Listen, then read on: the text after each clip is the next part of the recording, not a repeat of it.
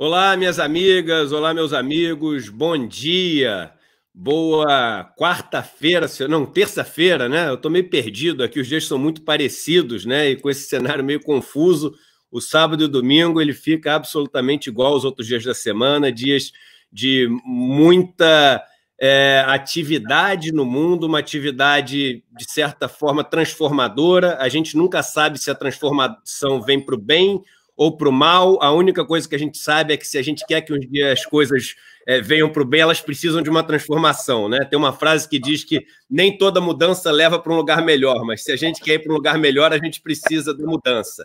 Então, tempos de mudança no mundo e cabe a nós direcionar essa mudança para algo que seja melhor para todos, na direção de um mundo mais justo, na direção de um mundo menos desigual.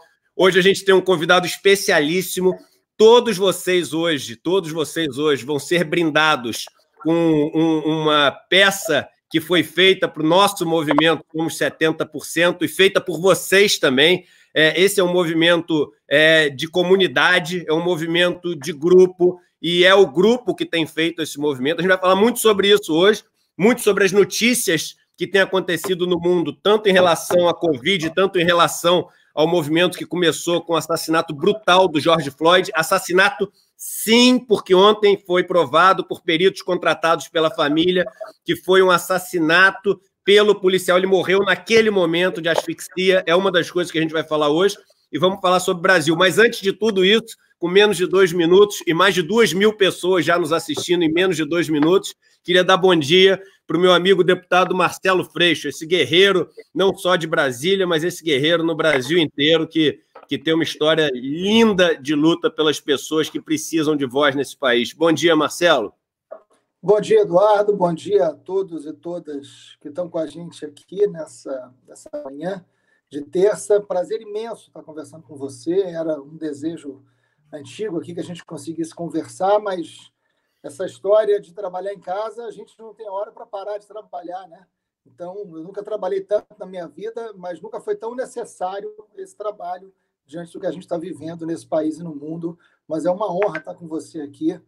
Vamos nessa, vamos conversar.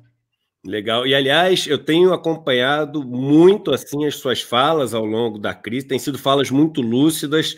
Você tem sido um agente do embate de ideias importantíssimo. Ontem, por exemplo, eu estava vendo o seu debate lá com o deputado do PSL, e tão importante falar as coisas com a clareza que você fala, né? E, e você uma hora cita, e pode até parecer irônico, mas que seja irônico, mas tem tanta verdade quando você fala o seguinte, mas calma, isso é um argumento que com um aluno de quinta série ele não pega, com um aluno de segunda série ele não pega. A gente tem que ter um mínimo, a gente tem que ter um mínimo de, de fundamento naquilo que a gente debate. Senão, é quase que um desrespeito a quem está assistindo. Eu juro que eu acredito Exatamente. nisso. A gente tem que respeitar quem está nos assistindo e achar que é, só vale a pena nos assistir se a gente tiver um mínimo de nível para entregar para quem está nos assistindo alguma coisa. Senão é o seguinte: olha, nem me assiste, que eu não estou preparado para você me assistir. Eu, claro. você, é, você não merece me assistir, né? É, acho que as pessoas deveriam ter isso na cabeça. Então, eu tenho acompanhado com muita alegria, assim, é, as suas participações. Eu queria pedir para todo mundo, todo mundo que está nos assistindo hoje, já são quase 3 mil pessoas aqui ao vivo nos assistindo, a gente tem 3.200 pessoas, com menos de quatro minutos aqui nos assistindo. Eu queria pedir que todo mundo. Hoje é um dia muito importante para chamar o pessoal para a live, porque no final a gente vai fazer uma, uma, um movimento que faz parte do Somos 70%, de divulgar um vídeo maravilhoso que ficou pronto por voluntários desse nosso grupo. Eu vou citar quem foram os voluntários. É, e esse vídeo vai ser mais uma peça desse movimento que é dos 70%. Não é do Eduardo, não é do Fulano, não é do Freixo, não é do Hulk, não é do FHC, não é do Lula, nem é do Ciro. É dos 70% e esse vídeo mostra isso. Então chamem todo mundo, tem uma surpresa alucinante, maneiríssima no final para todo mundo. Hashtag somos 70%, que nem a turma está colocando aqui. Então é o seguinte, a gente vai passar pelas notícias, mas antes, todo mundo agora, um like, por favor, todo mundo do YouTube. Se tiver com o chat aberto, tem que fechar o chat para poder dar o like. E todo mundo do Facebook, que tem sido importantíssimo o Facebook, um compartilhamento.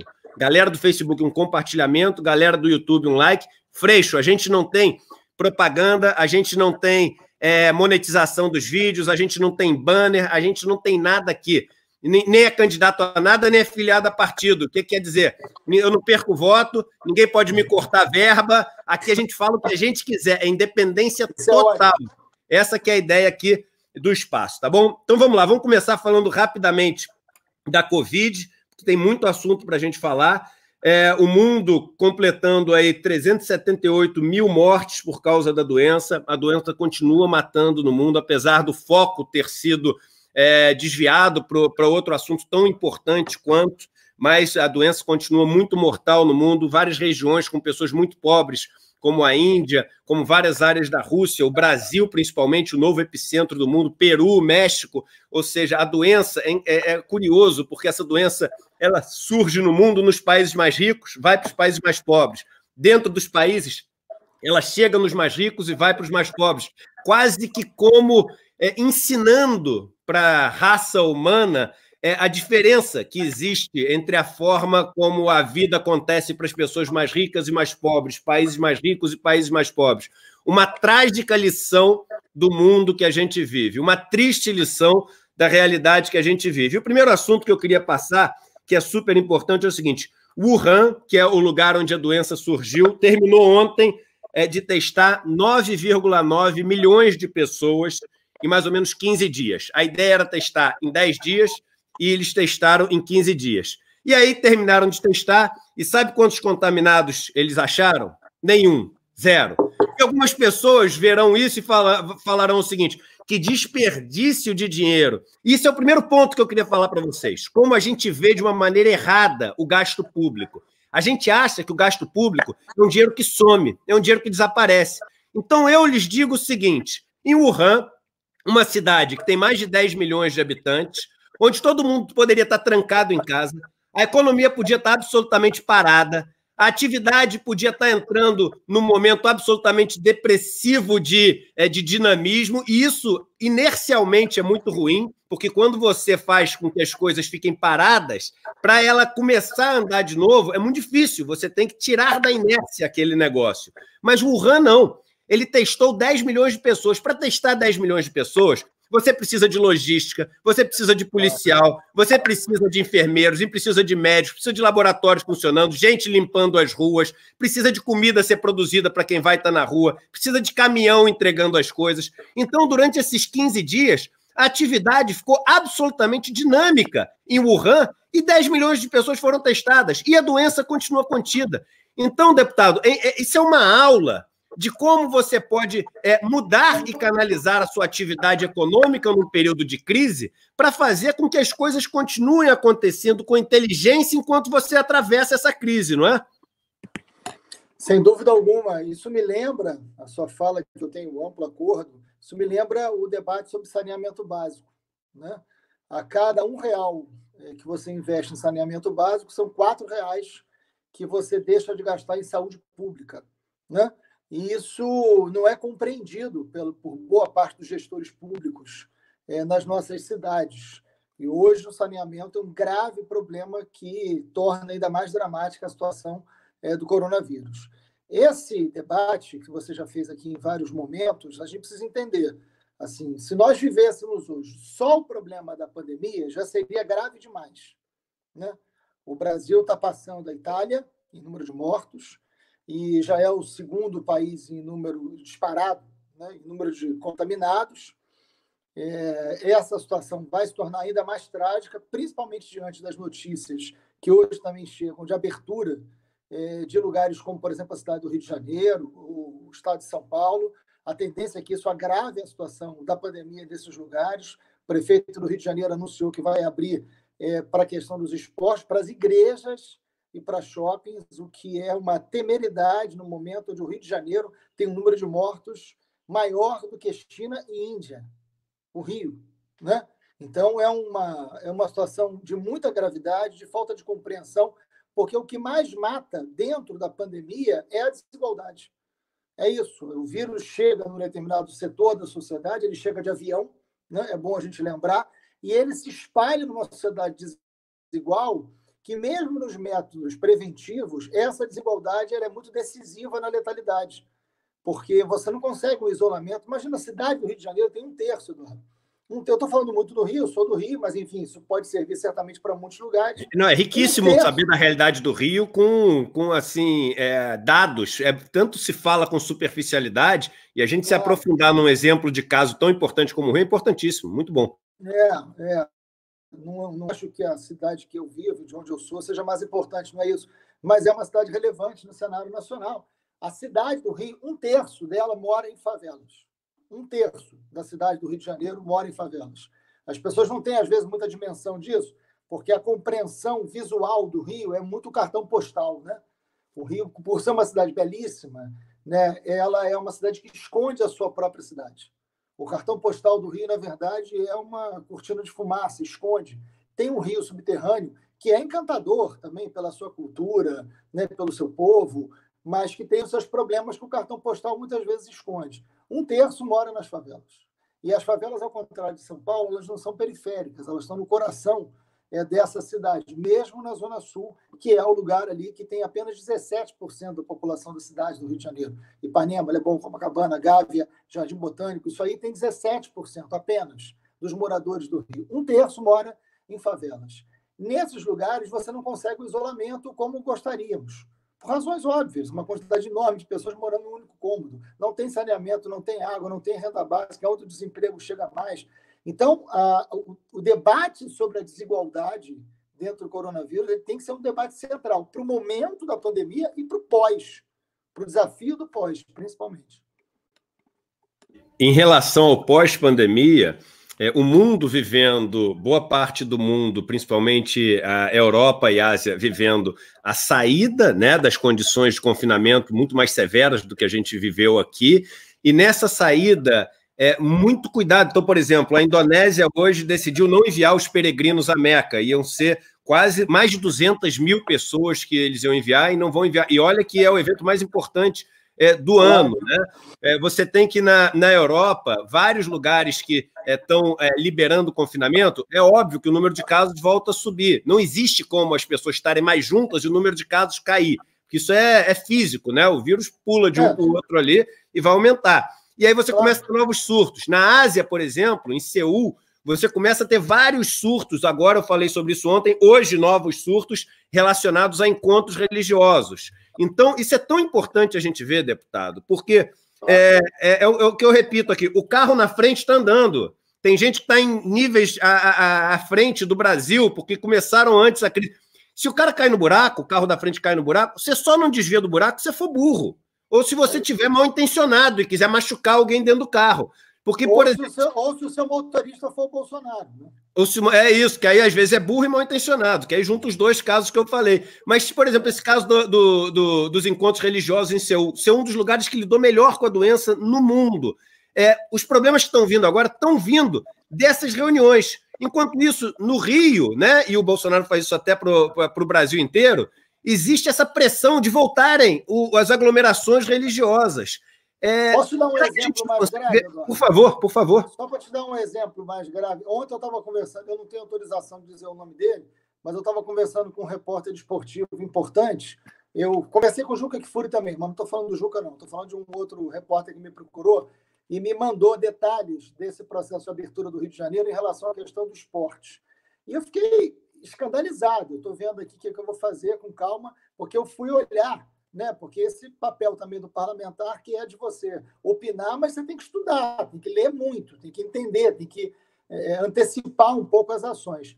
Eles estão querendo voltar com o campeonato de futebol, né? Então tem alguns planos aí.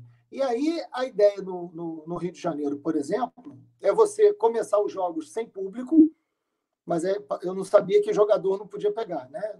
Não sei onde é que está escrito isso mas começa. O, o, eu quero ver a hora que um craque desse pegar, né? E aí se vai dar algum problema. Porque se o jogador de time pequeno pegar, ele não vai nem saber. quero ver a hora que um cara que vale milhões aí pegar, o que, que vai acontecer. Mas vamos lá.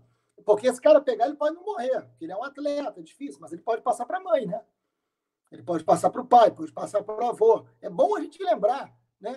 Que, Com certeza. Isso, isso, acontece. Aí vamos ver o que, que vai dar. Mas vamos lá. É, aí depois, aí tem fases né, de abertura. E tem uma fase que eles abrem para o público é, relativa, assim, um terço do público. Gente, desculpa, um terço do Maracanã são 22 mil pessoas. 22 mil pessoas indo para o Maracanã, essas pessoas vão de trem, essas pessoas vão de ônibus, essas pessoas fazem isso é uma insanidade, Eduardo. É, Isso é uma insanidade. Totalmente. Nesse momento, ah, não, mas daqui a pouco pode ser. Não, então espero daqui a pouco para saber se pode ser. Mas dizer e planejar agora, no momento em que você tem no Rio de Janeiro mais de 5 mil mortos, superando China e Índia, você prevê o uso do Maracanã, com tudo que leva ao Maracanã, né? Muita gente está assistindo a gente que nunca foi ao Maracanã, mas aglomeração é inevitável, mesmo que você coloque um terço. O que, que são 22 mil pessoas dentro de um estádio? Isso é, uma, isso é um negócio assim, é inacreditável. O cara está pensando num momento desse agora, onde você não tem um hospital de campanha aberto, onde você não tem leito, onde você não tem respirador, e a gente está debatendo se o campeonato vai votar com o uso do Maracanã. Então, assim, é uma inversão é, de papéis, de valores, de prioridade que realmente é muito difícil, viu? Money talks, é o que o americano fala. O dinheiro fala, né, cara? É impressionante como é. as decisões que são tomadas quando a gente faz é, lá cálculo 1, cálculo 2 em engenharia, você tem um sistema de equações, você escolhe uma das variáveis para maximizar, quando você tem um número maior de equações do que você tem de, de variáveis do que tem de equações. E a variável que é maximizada nesse nosso sistema, ela é o lucro. Coloquem isso na cabeça. É o é. lucro, né? E, e assim, e a briga, por incrível que pareça, não é por riqueza, é por poder. Porque quando você tem mais poder, você tem mais chance de maximizar o seu lucro. Então você luta por poder, mesmo que para isso você tenha que abrir mão de um pedaço da riqueza. Ou seja, poderíamos ter um país muito mais rico e eventualmente até os mais ricos iam acabar sendo mais ricos, mas eles preferem, preferem não ser para manter esse balanço de poder, onde a maior parte da população vive absolutamente dependente, e numa relação covarde de dependência, né? E sendo chantageado o tempo inteiro. É, e o que é chantageado, a moeda de troca da chantagem é a vida dessas pessoas, literalmente. Aqui não é, não é papo para dramatizar, é literalmente. Ou o cara aceita as condições ou ele vai morrer. Né? Então, e falar em aglomeração, agora uma aglomeração do bem, já temos 6.700 pessoas nos assistindo, com 17 minutos de live. E, pô, incrível hoje. Muito Chamem bom. a turma para assistir hoje, que no final tem surpresa aqui. Bem, vamos lá. É, no, no, Reino Unido, você tem é, que é, o, o, governo ele adiou, adiou é, a divulgação, e ele está dizendo que não adiou, mas a, as entidades estão dizendo que ele adiou e começou uma briga enorme. É, a, o, as pesquisas que mostram é, a diferença do impacto do vírus nos negros e nas minorias étnicas do Reino Unido. E todo mundo está falando o seguinte: pô, tu não pode adiar, você está adiando agora porque você está com medo dos protestos, mas a gente tem o direito de saber. É quase que como o seguinte: olha só, eu não vou mostrar, senão você vai protestar. Aí você está falando o seguinte, mas calma aí, então você está você tá chancelando o meu protesto. Você está mostrando que eu tenho motivo de protestar. Porque se você está falando que se você não mostrar, eu vou protestar, então você está chancelando. E o governo, não, não, não, não estou adiando, não, é porque a gente não chegou no número. E aí a gente já entra é, com esse assunto, né? É, tinha só mais um assunto de Europa que é interessante as pessoas saberem. Espanha, ela ontem anunciou os pedidos de auxílio-desemprego e em março tinha sido de 302 mil pessoas pedindo auxílio-desemprego, em abril 282, em maio 26 mil. Olha o que, que acontece quando você, mesmo no meio do caos, quando você confina, quando você controla a situação. O, o, uma situação controlada, ela tem fim. E aí tem uma frase que diz o seguinte: é melhor, é melhor o fim do horror do que o horror sem fim, gente. É melhor um final horroroso do que um horror sem fim. Então é melhor a gente controlar todo mundo e ser um final onde a gente vai sofrer mesmo, vai ficar angustiado, vai, mas aquilo acaba e você tem como começar de novo. A Espanha está começando de novo. A gente aqui no Brasil não está se dando a chance de começar de novo. A situação não está definida. Definida a etimologia vem de dar fim. A gente não está dando fim a essa situação. A gente parece que, que quer ver o, é, o, o caos acontecer. Quando eu digo a gente, como país, claro, nós aqui não queremos isso. Mas aí já fazendo o link da notícia de, de Londres com os Estados Unidos, os Estados Unidos entra no sétimo dia de protestos. O Trump ameaça colocar as Forças Armadas e isso não impacta em nada o ritmo dos protestos, não impacta em nada o ritmo dos protestos. E ontem, para é, encher as pessoas de entusiasmo, me perdoem usar essa palavra, mas eu tenho dito muito aqui, entusiasmo vem de Deus dentro, em Deus, ou seja, Deus dentro, e eu acredito que protestos como esse ontem são protestos de pessoas que estão cheias desse espírito maior que faz a gente lutar pelas coisas. Ontem, na nossa conversa sobre espiritualidade, eu mostrei aquele discurso daquela jovem negra americana e perguntei para o pastor Henrique e para o Frei Davi: Isso aqui não é um sermão? Eles falaram: Isso é um, é sermão. Frei Davi falou: Ela está com uma mão em Deus e a outra com os manifestantes. Você pode ter certeza que ela está sendo a conexão. O fato é que ontem foi divulgada essa questão do, do George Floyd ter morrido por asfixia, asfixia. Foi um homicídio. Ele morreu ali. E aí eu vou te passar, Freixo, e eu sei que você tem números bons para dar sobre como funciona isso no Brasil. Veja bem, em Minneapolis, em Minneapolis, do, nos últimos anos, dois terços das pessoas que foram imobilizadas com o joelho asfixiadas eram negras, num lugar onde 19% só da população é negra. Eu vou repetir: dois terços das pessoas que foram asfixiadas com o joelho naquele golpe que foi dado eram negras, num lugar onde só 19% das pessoas são negras. 58 pessoas apagaram nos últimos anos, ou seja, não é novidade, não é que eles não sabem que isso acontece, mas isso continua é, acontecendo. Então, eu queria que você falasse um pouco disso que está acontecendo nos Estados Unidos e desses dados que são tão distintos para a população negra e para a população branca. Deixa eu tocar num ponto antes de entrar nisso e trazer para o Brasil, porque muita coisa está acontecendo aqui também. Nós tivemos um ato aqui no Rio de Janeiro muito importante em frente ao Palácio Guanabara, é, feito pela, por movimentos sociais das favelas, né? É, questionando, e aí eu acho que é, é, é, bem interessante nesse momento, questionando as operações policiais no meio desse processo da pandemia que levou à morte de João Pedro, João Vitor e tantos outros, e tantos outros. Mas antes disso, só para a gente não, deixar de, de, falar, porque esse é um debate que eu já fiz tantas vezes, é inacreditável né, que depois de tudo que aconteceu no mundo, porque por ser uma pandemia, não ser algo exclusivo do Brasil, você é obrigado a ler, entender o que está acontecendo no mundo inteiro. Né? Essa insistência do governo Bolsonaro de separar a economia da saúde é criminoso. Porque é isso, a gente não consegue é, ter um mínimo de planejamento para saber até quando nós teremos determinadas medidas para podermos ter outras depois. É isso que você está falando. E isso é muito claro e cada vez mais evidente. Então, assim, é, para aquele que está preocupado em perder o emprego e fica nesse jogo, eu vou perder o emprego, eu vou perder a vida, né? Na verdade, é uma coisa só. Não é uma coisa só. Assim, é preciso isolamento, é preciso entender e ler a curva de contaminação, é preciso é, medir o tamanho dessa crise por um tempo para que a gente possa cuidar das pessoas ter menos gente morta. Não é uma questão de, não, vamos cuidar da vida e depois resolve do emprego. Não. Para que a gente possa recuperar os empregos o mais rápido possível, nós temos que ter um planejamento da área da saúde feito desse jeito. Isso aconteceu no mundo inteiro. E é isso que a gente não consegue ter aqui.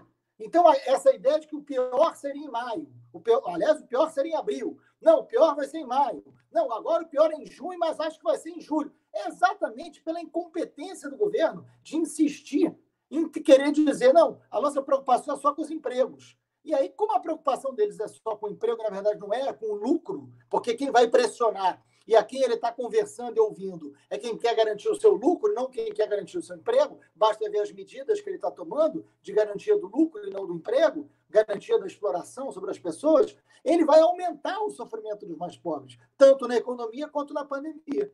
Então, assim, a gente tem que insistir muito, muito na necessidade desse planejamento junto aos prefeitos e governadores, porque da presidência, lamentavelmente, não dá para esperar muito. No Rio, hoje, só para terminar esse assunto, no Rio, hoje, os hospitais de campanha eles não são abertos porque ele é um planejamento errado. A gente tinha que estar ampliando o leito das redes públicas que já tem gestão hospitalar pronta.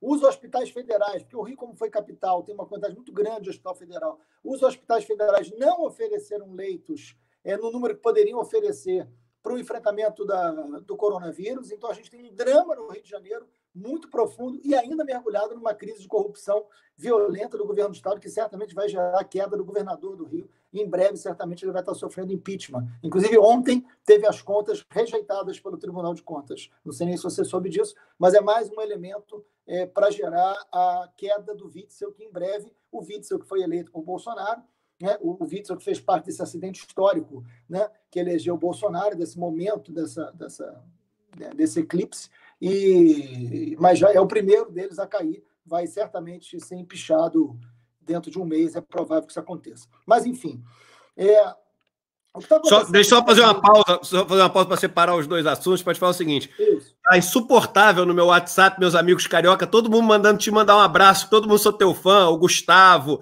o Romário, é. o Cristiano, todos meus amigos de colégio. Pô, manda um abraço pro Freixo. Então, ó, sinta-se abraçado por todos os meus amigos de infância. Freixo, siga aí, vai. Valeu, valeu. Abraço grande. Abraço virtual, por enquanto, né? Mas vamos lá. É... Então, é... o que está acontecendo hoje nos Estados Unidos, acho que é, uma... é muito importante a gente entender, né? É... aliás, eu estou recebendo muitas imagens, né? Enfim, isso está brotando na internet. Além de amigos, está brotando na internet é impressionante como lembra o filme Coringa, né? Tem, tem uma postagem do Robert De Niro, inclusive, do próprio Robert De Niro, que ele diz uma imagem de Nova York onde ele fala, não é o Coringa. e era uma imagem real, né? É, isso diz muito sobre a sociedade que a gente está vivendo, sobre o acúmulo da desigualdade, sobre a explosão. Nós vivemos alguma coisa é, assim em 2013, eu não tenho a menor dúvida, aí indo para uma reflexão mais profunda, enfim. É... Eu não tenho a menor dúvida que se não fosse a pandemia, o Brasil hoje estaria incontrolável nas ruas. Não tenho a menor dúvida. Não tenho a menor dúvida. Hoje, se não fosse a pandemia, nós teríamos um Brasil incontrolável hoje. E eu não sei até que ponto o Bolsonaro ia tentar se alimentar disso, mas não é algo que alguém pudesse controlar, porque a irresponsabilidade dos atos organizados pelo fascismo, né? e ontem eu tive um debate que você lembrou, é muito curioso, porque eles tentam caracterizar como um ato família, e do outro lado, vandalismo. Como se não fosse vandalismo um ato fascista. Como se não fosse vândalo rasgar a Constituição, usar símbolo nazista, falar em fechamento do Congresso, fechamento do Supremo, falar em intervenção militar. Isso é vandalismo. Vamos deixar claro, isso é um vandalismo oficial, né? com a presença do presidente andando né, é, num cavalo sem máscara, uma mistura de criador e criatura. É, e ali você, é, esta situação estimula um processo de conflito muito grande que certamente não vai é, se restringir aos Estados Unidos. A morte do, do, do George Floyd ele foi, uma morte filmada, né, Eduardo? Ele é uma morte, e aquilo é muito forte. É claro que ele não é o primeiro, você está dando números que são muito importantes. Nós temos uma estrutura é, racista, um racismo estrutural é muito violento nos Estados Unidos, mas aquela morte ela foi filmada. Ela tem uma dose né, de perversidade filmada e explode, explode muito, mas explode completamente, é incontrolável. E aquilo vai para uma sociedade no momento de um governo Trump. Aquilo tudo que está acontecendo é pelo George Floyd, mas é por tudo, é por um conjunto de coisas que são completamente inaceitáveis. Agora, se você traz para cá e olha para o mapa da violência que a gente tem aqui, de cada 10 pessoas assassinadas no Brasil, 7 são negros. Eu vou repetir. De cada 10 pessoas assassinadas no Brasil, 7 são negros. Né? Nós chegamos a uma taxa de homicídio que, pela primeira vez na história, passou de 30 por 100 mil habitantes. Nunca tinha passado de 30. Passou de 30. Nós chegamos a mais de 60 mil homicídios ano a nossa taxa de esclarecimento de homicídios não chega a 4%. Taxa de esclarecimento de homicídios não chega a 4%. Pode matar, porque quem morre? Quem são os matáveis?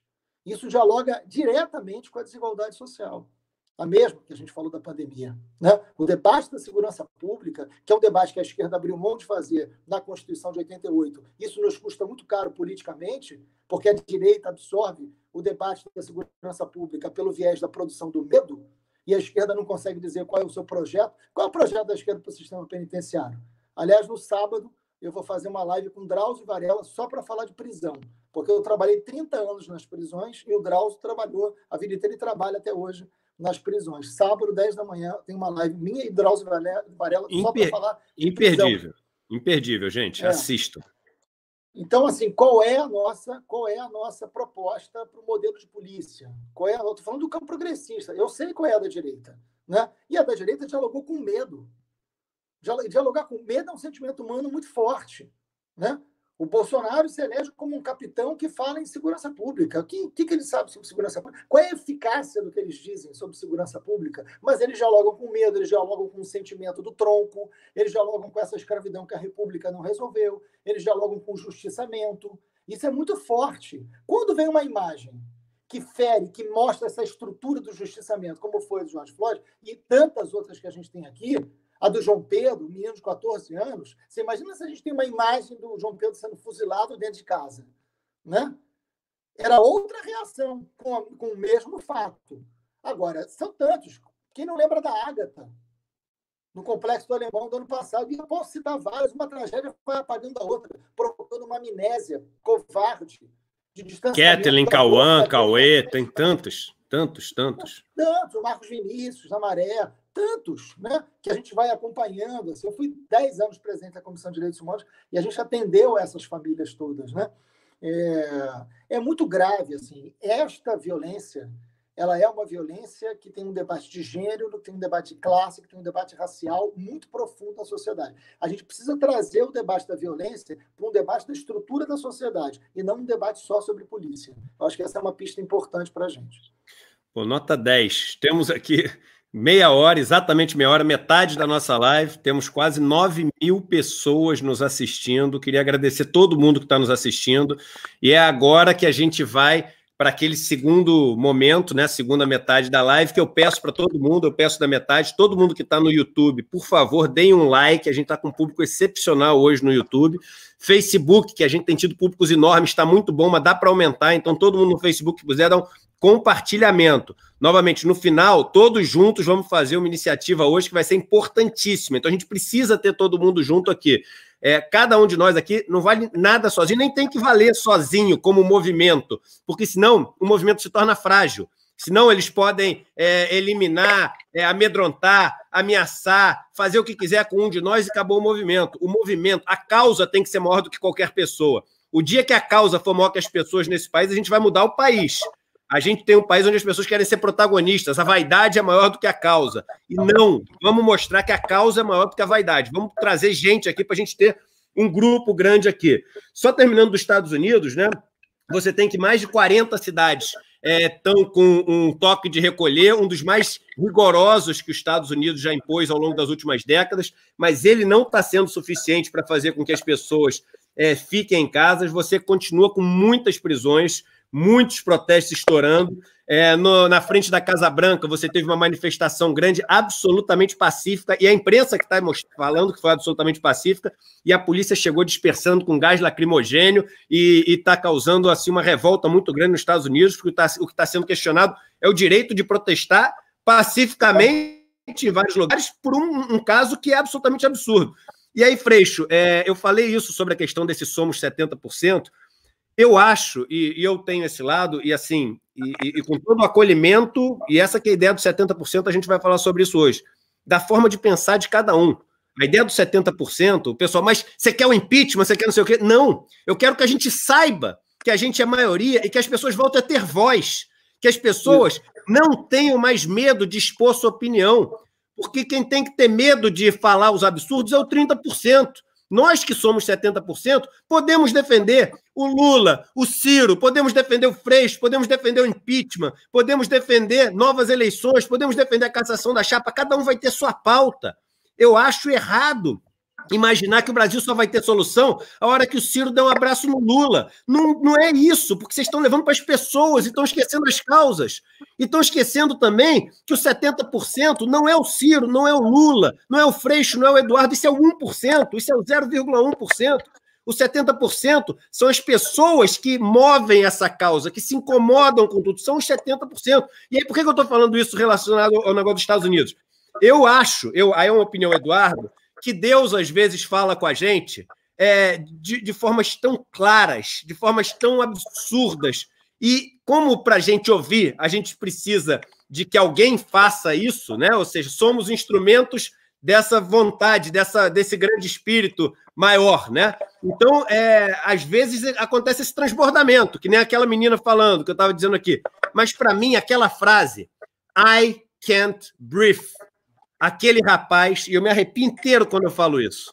Ele foi instrumento, ele foi instrumento de algo que o mundo inteiro precisava ouvir. Ninguém, nenhum grande intelectual, nenhum grande filósofo, nenhum grande político poderia é, exprimir com tanta clareza e com tanta perfeição o sentimento que é o sentimento da maior parte do mundo. I can't breathe. Eu não consigo respirar. Os países que são os países pobres não conseguem respirar. Os Estados Unidos, que é a nação mais rica do mundo, eu falo isso aqui, as pessoas não sabem. A OCDE, que não é um organismo de esquerda, a OCDE mostra que o país com maior taxa de pobreza de todos os países da OCDE é os Estados Unidos. Nos Estados Unidos, as pessoas não podem respirar I can't breathe.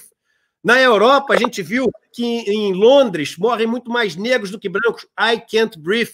No Brasil, morre o João Pedro, morre a Ágata, morre as pessoas que não conseguem. I can't breathe. Então, como é importante é, um, uma frase para as pessoas se identificarem e poderem falar o seguinte: eu quero respirar, me deixa respirar, porque o direito universal é a vida, e vida não existe sem a possibilidade de respirar. E sem respirar e colocar para fora, não sobra espaço para a gente inspirar e se sentir inspirado para fazer as coisas que precisam ser feitas. Então, foi tão forte esse I can't breathe. E a ideia do Somos 70% é ser uma frase que as pessoas falem o seguinte: chega, me deixa falar, me deixa ter, pô, agir, me deixa defender as minhas teses, não me faz ficar com medo, não me faz ficar escondido. Eu tenho esse direito, até numericamente, deveria ter em qualquer condição, mas até numericamente tenho, porque sou maioria, somos maioria. Então esse I can brief é muito forte, né, Freixo? é muito forte, isso é muito importante, porque esse desejo de fala, de ar, de espaço, de humanidade é, é histórico né? e é mundial. Aqui no Rio de Janeiro, é, teve um ato, eu estava falando no início, muito importante, né, de lideranças é, de favelas. Eles tinham organizado com pouca gente, apareceu um monte, porque é isso, está todo mundo querendo respirar, está todo mundo precisando de ar. E, e um cartaz é, que o Raul Santiago, que é um jovem muito amigo, incrível, menino que eu sugiro que você chame para uma conversa aqui, uma liderança do Complexo do Alemão, depois eu te boto em não sei se você já conhece, mas Está convidado, pode me botar em contato que já está convidado. É, aí, Raulzinho. Então, o Raul Santiago, ele, ele é uma liderança de comunicação, né? Eles formam núcleos de comunicação, faz um trabalho extraordinário em relação ao coronavírus dentro do Complexo Alemão. E, e, é, e ele estava com um cartaz na mão dizendo o seguinte: não queremos escolher entre morrer por coronavírus ou de bala. Né? E é isso, queremos respirar, queremos viver. Né? É, ninguém vive sem respirar. Ninguém vive sem respirar. E tem um Estado que sufoca. Um Estado que não entrega renda básica, um Estado que não faz saneamento básico, um Estado que faz operação policial. Ô, oh, Eduardo, pelo amor de Deus, um Estado que faz operação policial durante a pandemia, todos os crimes baixaram. Um estado que, você imagina, a favela da Maré. A favela da Maré tem 135, 140 agora, mil moradores. A favela da Maré é maior do que 95% dos municípios brasileiros. A favela da Maré tem mais gente morando do que 95% dos municípios brasileiros. Quantos moradores, Freixo? Quantos moradores? 140 mil moradores, Uau. só na Maré. Uau! A Rocinha tem mais, Complexo Alemão, então, são favelas que são do tamanho de cidades. Vocês imaginem se uma cidade fosse tratada como as favelas são tratadas pelo Estado. O que estava acontecendo? Alguém consegue imaginar que fosse possível? Um lugar onde uma cidade que não tem saneamento básico, né? que não tem água em muitas casas, que não tem política de moradia, que tem déficit gravíssimo nos índices escolares, que não tem médico de família, uma cidade inteira e que a única presença do Estado é com a polícia, com operações policiais que matam crianças. Qual é a cidade que vocês imaginam que pudesse funcionar assim? Tem alguma cidade? Você moraria numa cidade dessa? O que, que você faz? Né? Como é que é isso? E são as cidades que as favelas se transformaram no Rio de Janeiro. E ali, cara, aí é que a gente tem que dialogar com o setor de classe média, né? É dali que sai a pessoa que vai lavar a tua roupa, que vai passar tua roupa, que vai varrer tua casa, que vai cozinhar para você, que vai fazer a cidade. Naquela época das Olimpíadas, eu briguei demais aqui no Rio de Janeiro. Briguei demais. Saiu uma matéria comigo que era na capa era assim, o estraga festa. Eu fiquei até meio puto, porque, pô, estraga festa. Eu falei, não, peraí, pô, eu adoro festa, não é isso, mas essa festa aqui não dá. Essa conta é muito alta da festa e quem vai pagar não é quem está no baile, né? Então não dá. E aí E aí eu lembro que, na época, me falaram: não, mas essas medidas são importantes para controlar a favela, para garantir o sucesso dos grandes eventos, para que a favela não desça. Uma autoridade me disse isso. Aí eu falei: meu senhor, o senhor quer ter um problema no Rio de Janeiro? É o dia que a favela não descer. O dia que a favela não descer, o senhor tem um grande problema no Rio de Janeiro. Porque o dia que a favela não descer, nada funciona no Rio. A cidade para a cidade não vai parar o dia que a favela descer, porque ela desce todo dia para fazer a cidade funcionar. As favelas são espaços constituídos da cidade. É isso que esta visão de Casa Grande, que ainda funciona no olhar de tanta gente no Brasil, não consegue compreender. Então é preciso né, cobrar de políticas públicas, construir políticas públicas que mudem essa estrutura, porque a violência, os números, as imagens da violência, elas são desdobramentos do que a gente está dizendo aqui. Né? No Brasil e no mundo. No Brasil e no mundo. no mundo. E tem um ponto interessante que eu trouxe hoje para falar, que era o seguinte: eu falei aqui outro dia, Freixo, e eu não sabia, é muita informação, são muitos países, são muitas realidades, a gente estuda, visita, mas cada dia a gente está aprendendo uma coisa nova. E Singapura, eu, é, ele é, é, utilizado, o país Singapura, por várias pessoas que defendem a tese neoliberal, dizendo: olha só o sucesso de Singapura. Tem até um vídeo antigo, acho que é do Roberto Campos, se não me engano, falando: olha o exemplo de Singapura, o que, é que eles conseguiram fazer. É o quinto maior PIB per capita do mundo. Aí veio, veio a crise do coronavírus. Você sabia que você tem mais ou menos 5 milhões, 6 milhões de habitantes lá em Singapura? 1,2 milhões, 1,2 milhões de pessoas são de imigrantes que trabalham na construção civil, empregado doméstico, são pessoas muito pobres. Essas pessoas moram em dormitórios. O que, que são dormitórios? Dormitórios são complexos onde de 10 a 20 pessoas dormem em quartos muito pequenos. Freixo, em 43 dormitórios, é esse número que eu estou te falando, em 43 dormitórios, no quinto lugar com o maior PIB per capita do mundo, no lugar que é o exemplo do neoliberalismo como sucesso no mundo, em 43 dormitórios moram 200 mil pessoas pobres. Em 43, em 43 moram 200 mil pessoas empuleiradas. Empuleiradas. O que, que aconteceu? Começou o coronavírus a atacar esses dormitórios, eles fecharam os dormitórios, e aí as pessoas continuaram a tua vida lá e eles estavam fechados. É a frase do cara da XP. Não, tá bem, porque já melhorou a curva aqui. Pena, o nosso problema são as favelas. O problema lá são os dormitórios. Os dormitórios. Essa mesma frase. O que, que acontece? Qual foi a, a, a solução que eles encontraram hoje? Ah, o governo de Singapura prometeu é, construir dormitórios com instalações mais seguras. Ou seja, a ideia não é não ter mais dormitório. A ideia é pintar o dormitório, entendeu? A ideia é fazer a cama anti-ácaro, sei lá o que, que eles vão fazer. Veja como é muito importante a gente entender quando que a solução vem para uma mudança estrutural e quando que a solução vem simplesmente para apagar aquele foco de incêndio, mas manter a brasa acesa, manter o inferno que aquece a vida dessas pessoas e torna essa vida insuportável. Vai, passo para você agora com Quase 10 mil pessoas aqui nos assistindo. Lembrando, fiquem aqui e chamem os amigos, que daqui a pouquinho tem a novidade para todo mundo aqui, Freixo. Mas é o resto do mundo, não é só o Brasil. Você tem a Casa Grande, você tem é, a Senzala no mundo inteiro. Não, é exatamente isso. Está me lembrando Crivella. Né? Tem um vídeo maravilhoso que o Crivella está na porta da Rocinha, na entrada da Rocinha, que é uma favela muito conhecida, que é uma favela que tem um número de moradores maior do que o da Maré e, e, que fica no coração do IPTU mais caro do Brasil, né? A Rocinha tem, a Rocinha tem essa peculiaridade, né? A Rocinha fica entre a Gávea e São Conrado. Então, a, a maior favela do Brasil fica no IPTU mais caro do Brasil, né? Coisas do Rio de Janeiro, né? Mas o, o Crivella estava na porta da, da favela da Rocinha e aí um menino de, de, de comunicação é, popular, local, né? ele, ele, ele vai entrevistar o Crivella, o Crivella não, a favela da Rocinha é muito interessante.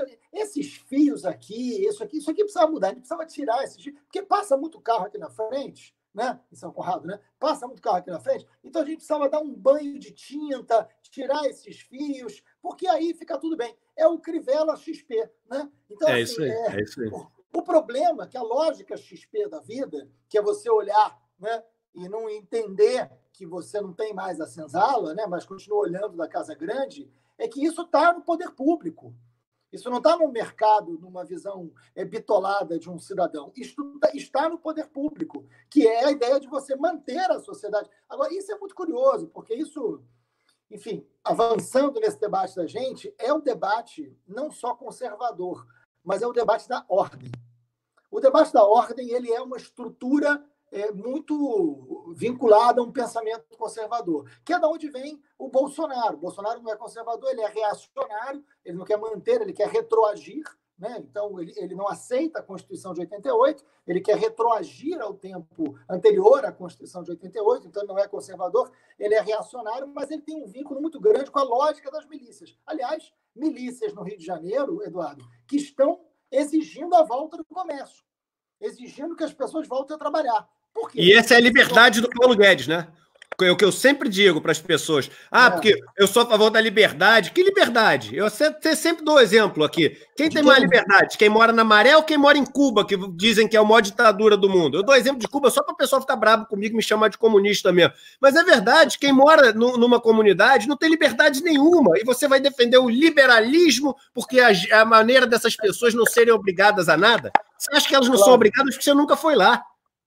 Ou está submetido ao tráfico, ou está submetido à milícia, ou está submetido ao poder tirânico do Estado que não entra para garantir direito. É disso que a gente está falando. Você pode escolher qual é a tirania. Né? A única liberdade que tem é que essa tirania reveza.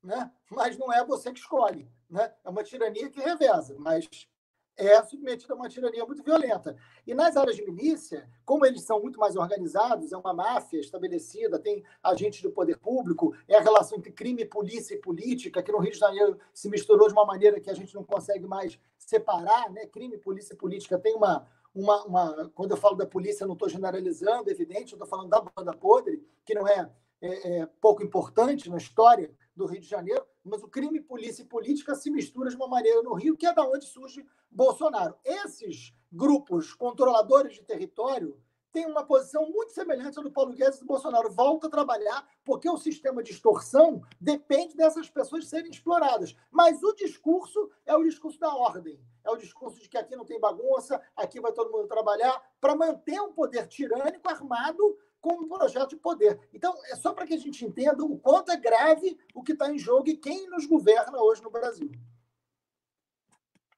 Muito legal. E eu queria, antes de entrar aqui no nosso vídeo que a gente tem para mostrar, queria que você falasse um pouco para as pessoas que estão nos acompanhando, como é que estão as movimentações em Brasília? É, tem muita gente falando de, ah, pô, impeachment tem tantos processos, aí tem essa questão do STF, fake news, é, General Heleno. Dá um, um, panorama, se você puder, eu sei que é, é difícil, mas uns cinco minutos aí, dá um panorama do que está acontecendo do clima em Brasília, por favor, Freixo. Eu acho que esquentou demais, né? Eu acho que o Bolsonaro, ele. O Bolsonaro ele é um acidente histórico, mas ele tem. A gente precisa entender que tem projeto. O Bolsonaro é tosco, é imbecil, é ignorante, ele é tudo isso, mas tem um projeto político, né? E é um projeto político autoritário. As bases do governo Bolsonaro, é, de um lado, eu gosto sempre de falar isso para que a gente entenda. Por que, que eu estou dizendo que o Bolsonaro é fascista? Porque eu não gosto dele e falo isso de qualquer um que eu me oponho? Não. Eu não falaria isso de uma direita clássica. O Bolsonaro é uma extrema-direita fascista ele tem um vínculo, por exemplo, com os militares, é, que aí me preocupa muito, esse é um debate. É, muita gente fala, não, não, mas não vai ter golpe, porque os militares não darão golpe. Isso pode até ser verdade, mas eu também não sei se os militares estão dispostos a evitar um golpe. Os militares não darem um golpe é uma coisa. Os militares evitarem um golpe é outra.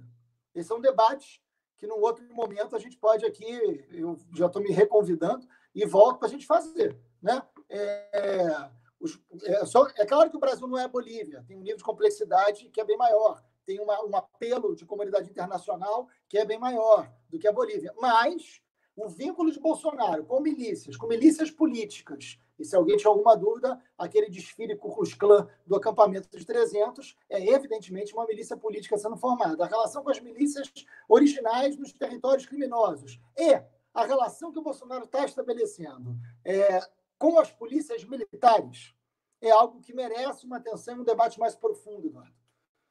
Ao você quebrar o monopólio da força do Estado, tentando criar uma relação com a polícia militar, que a polícia seja uma polícia vinculada à ideologia do presidente e não a uma hierarquia do Estado como monopólio da força, essa é a maior tirania que Bolsonaro ameaça.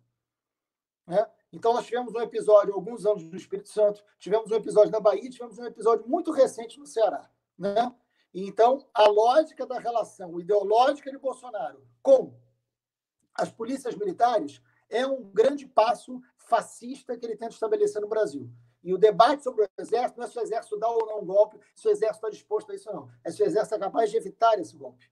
É um debate mais profundo do que a gente está conseguindo fazer até hoje. Dentro de Brasília, isso tudo está sendo visto. Dentro de Brasília, isso tudo está. É, o Bolsonaro ele precisa criar crise do próprio governo. Né? Porque o Bolsonaro ele, ele, ele não quer entregar um governo. Ele é um governo de destruição. Ele é um governo de desconstrução. Né? Ele é um governo com uma lógica que é fascista é, na sua essência. Então, ele entra para provocar a própria crise e fazer com que a nossa agenda seja uma crise provocada por ele.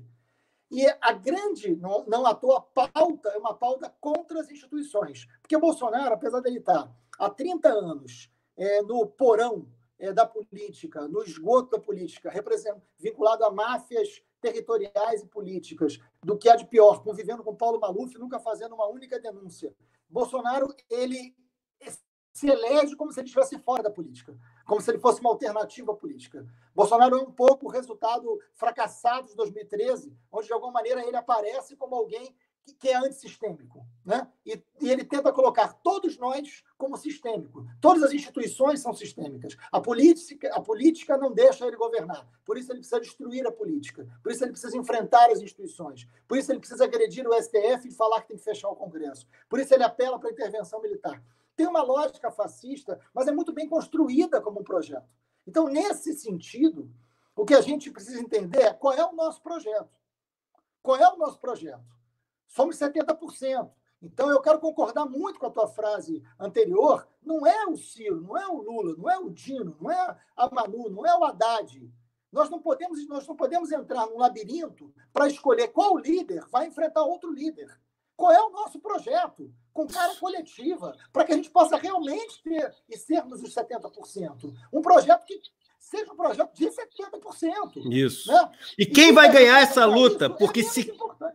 Porque se quem ganhar a luta for o Dino, ou o Luciano Huck, ou o. É, e, a gente vai ficar sujeito à visão que ele tem de mundo, que não é dos 70%. Quem tem que vencer a luta são os 70%. Então, já pegando, já pegando o embalo, já pegando, porque aí, aí pegou o embalo. Então, vamos mostrar o vídeo. É isso, né? É projeto. Então, vou mostrar o vídeo. E esse vídeo é o seguinte: eu não poderia é, mostrar o vídeo sem antes agradecer aqui a Berro Motion, do meu amigo Bernardo, a Belinha Filmes e a Yasnaya, que é uma designer venezuelana que trabalha com a Berro Motion. Eles fizeram esse vídeo, eles fazem parte do grupo aqui. E o combinado é o seguinte, gente: isso que a gente está fazendo, nós estamos fazendo, mas também não é nosso. É, é, é do, pô, do Brasil, é do movimento, é da causa. Por que, que eu estou dizendo isso? Se amanhã derem um tiro na cabeça do Eduardo, vocês continuam com isso, entendeu? Porque é um grupo. Por acaso, isso aqui é um ponto de encontro. Isso aqui é um ponto de encontro, e nesse ponto de encontro, uma causa encontra terreno fértil para se manifestar, ganhar força e poder sofrer uma nova catapultada. Mas é nosso. Então, esse vídeo eu achei tão bonito. A gente recebeu centenas e centenas de vídeos. Vocês podem continuar mandando, tá? Os dados estão lá no meu Instagram que eu coloquei, falando de todos os lugares do Brasil, é que que, que vocês fazem, qual a idade vocês têm, onde vocês moram, e somos 70%. Porque a gente tem que ver a cara do Brasil retratada nos 70%.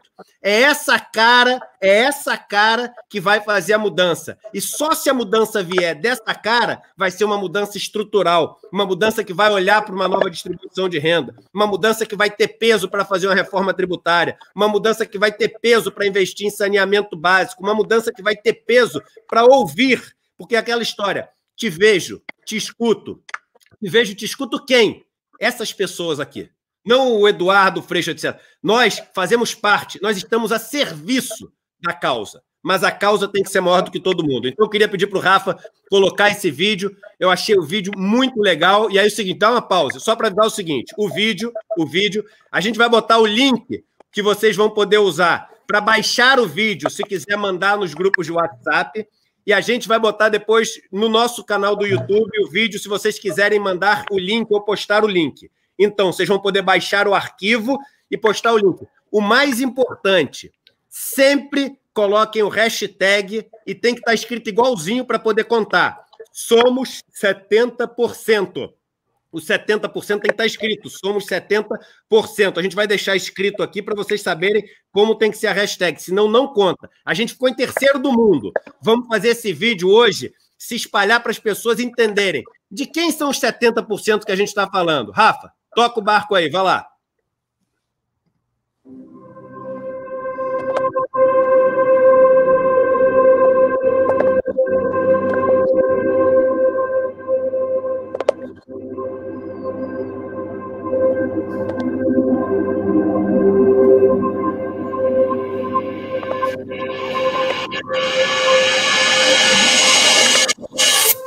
Moro em Manaus.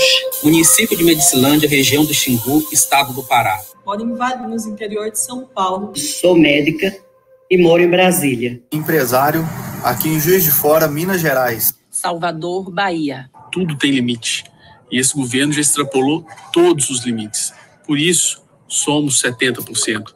E somos 70%. Somos 70%. E somos 70%. Somos os 70%. Somos 70%. Chega. Somos 70%. Nós somos 70%. Contra o fascismo, somos mais. Somos 70%. Somos todos 70%. Fora Bolsonaro. Somos 70%. Nós somos a maioria do Brasil. Somos 70%. Venho aqui dizer que nós somos 70% da população brasileira. Somos 70%. Somos todos 70%. Somos 70%. Somos 70%. Somos 70%.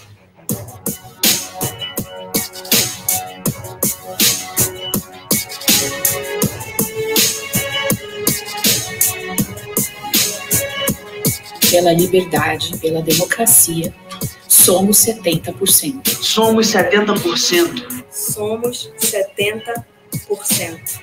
E somos 70%. Nós somos mais de 70% e precisamos reagir.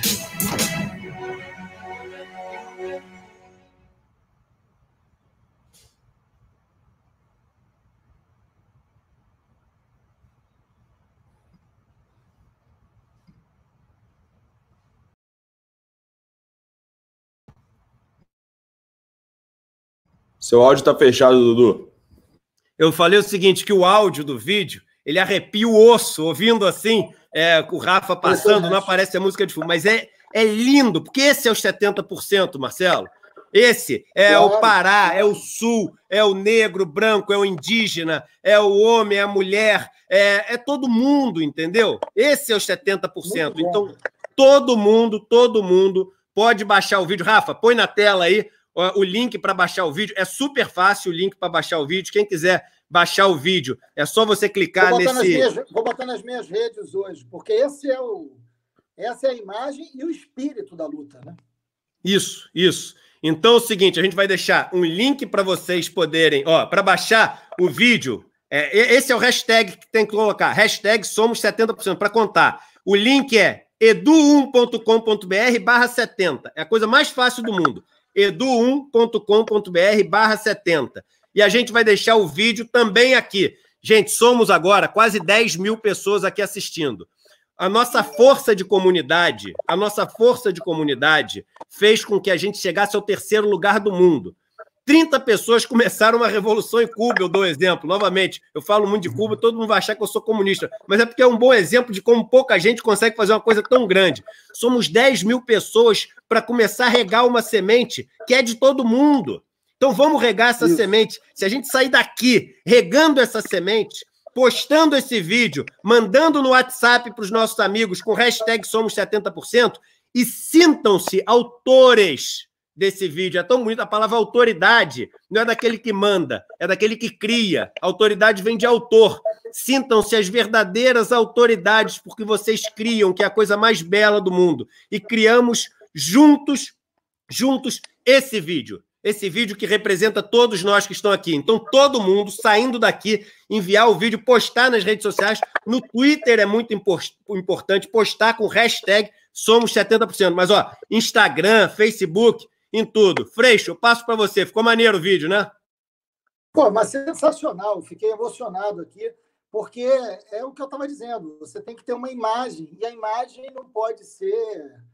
É, lembrei o Brecht, né? Assim, feliz do povo que precisa de heróis. A gente não precisa de herói nesse momento.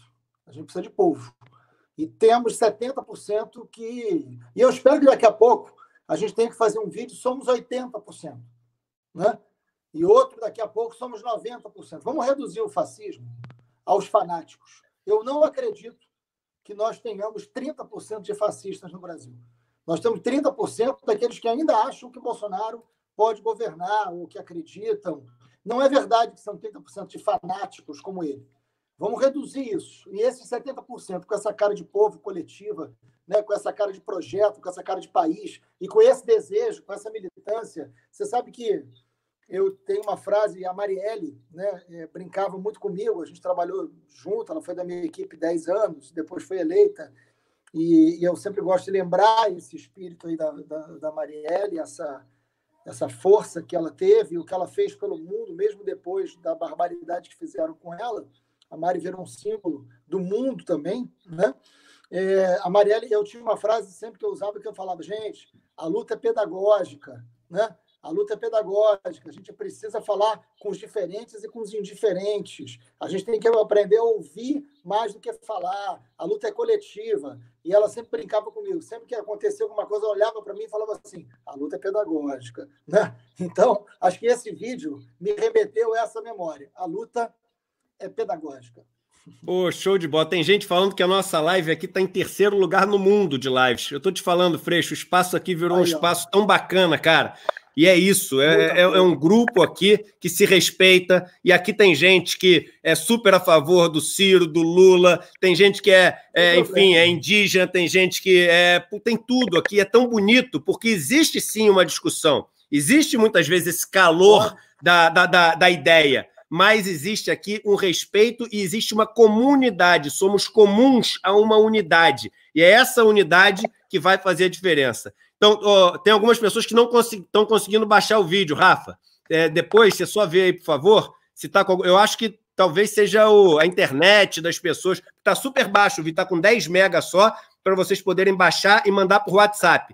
E quem não conseguiu baixar o vídeo, tem o link do YouTube. É só vir no nosso canal, que você já está no nosso canal aqui, se estiver no YouTube. Se você não tiver, tiver no Facebook, eu vou postar o vídeo também. Vou postar o vídeo em todas as minhas redes e vocês estão convidados a ir lá. E sempre, hashtag somos 70%. Freixo, eu acho que nunca recebi tantos elogios aqui como eu recebi Opa. a sua participação. Bom. E tem uma coisa que está sendo muito legal, porque aqui é o seguinte: como a gente tem essa liberdade de não ter o medo, ah, mas se eu trouxer esse cara, putz, aquele cara vai ficar chateado, não me patrocina, eu vou perder seguidores. Não tem, não tem, não tem essa preocupação. E como não tem essa preocupação, é, as pessoas elas acabam tendo contato com personagens que elas aprenderam a ter algum tipo de preconceito. Como eu tive. Essas semanas fui super atacado por vídeos que apareceram meu falando mal da Dilma, do Lula. Eu sempre falei, eu passei 42 anos na bolha de Rio de Janeiro, Zona Sul. Você sabe como é que é a bolha? PUC, 20 anos sendo sócio, banqueiro, gente, banqueiro, dono de banco.